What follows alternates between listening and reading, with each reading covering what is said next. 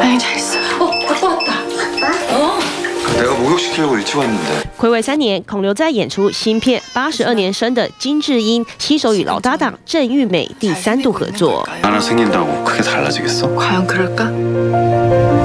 제가 잘 도와드리겠습니다 딸내미가 최고다. 너무 이쁘잖아. 어? 两人在片中饰演老夫老妻，剧情以女性视角出发，孔刘化身暖男父亲，再度迷倒不少粉丝。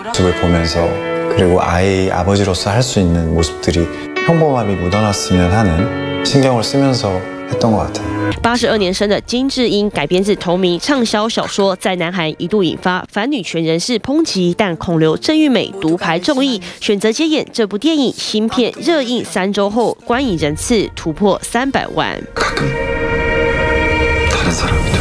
孔刘挑选角色一向重视社会议题先前接拍的熔炉也引发社会回响。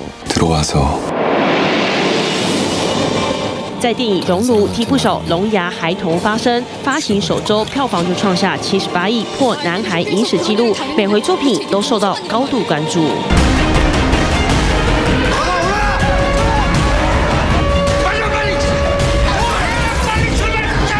为了逃离车厢紧抱孩子奋力往前逃孔刘在失速列车中不顾一切救孩子父亲角色感动许多观众因此让他攀上演艺事业高峰。